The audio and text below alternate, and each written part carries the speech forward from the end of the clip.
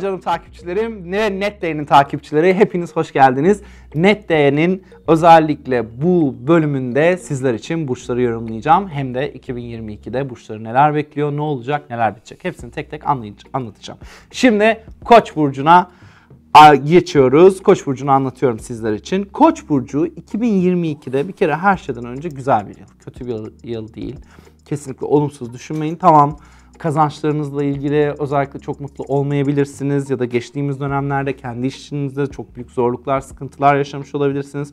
Ama Koç burcuna baktığım zaman parayla ilgili uzun zamandır yaşadığı sıkıntıların, bazı sorunların arkasından çok ciddi bir değişim ve dönüşüm döneminin içine giriyor ve bu dönemde ciddi parayla ilgili bir rahatlama, bir ferahlama yaşayacak ve kesinlikle çok daha olumlu yönde, çok daha pozitif yönde bir etki başlayacak diyebiliriz.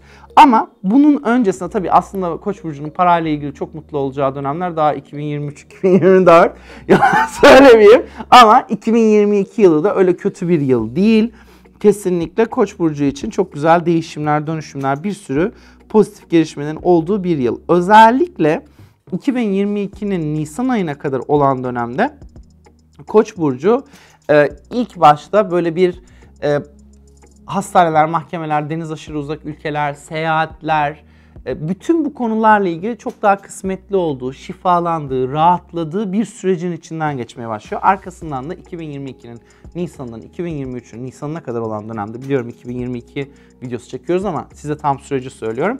O dönemde özellikle kendisi, ilişki hayatı, çocukları, yatırımları, genel hayatı ile ilgili çok ciddi bir şifalanma yaşayacak ve kendini çok daha iyi hissedecek. Oralarda bir açılma, büyüme, genişleme yaşayacak. Kesinlikle çok olumlu yönde etkileyecek. Koç burçlarına yalnız özellikle benim tavsiyem bu sene çok bol sarı rengini yoğun bir şekilde kullansınlar.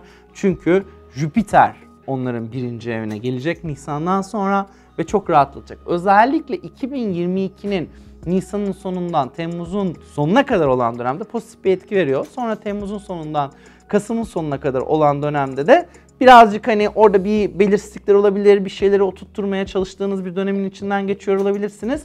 Ama 2022'nin Kasım'ın sonundan 2023'ün Nisan'ına kadar olan dönemde müthiş şekilde rahatlıyorsunuz ve kendinizi çok daha iyi hissediyorsunuz.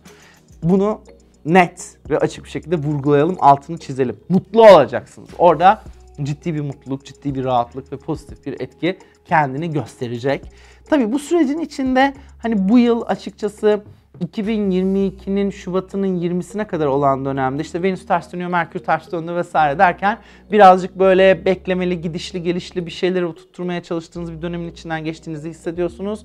Sonra arkasından açılıyor. Özellikle Mart ayının sonu, Nisan ayı e, yeni şeylere başlamak için ve yeni başlangıçları yapmak için çok iyi bir dönem ama 2022'de en iyi yeni başlangıç yapmak, evlenmek, şirket açmak ya da herhangi bir her türlü başlangıcı yapmak için en iyi tarih 28 Nisan 2022 saat 13.10 ile 13.20 arasında.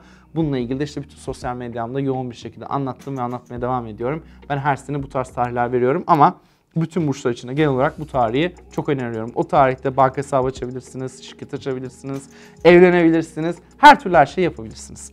Evet, kesinlikle koç burçları için Bunlar çok önemli ayrıntılar. Bir de Koç burcu her zaman biliyorsunuz tabii kırmızı renk sizin renginiz. Kırmızı rengi hayatımızda çok daha yoğun bir şekilde kullanın ve kullanmaya da devam edin. Sizleri çok seviyorum. Müzik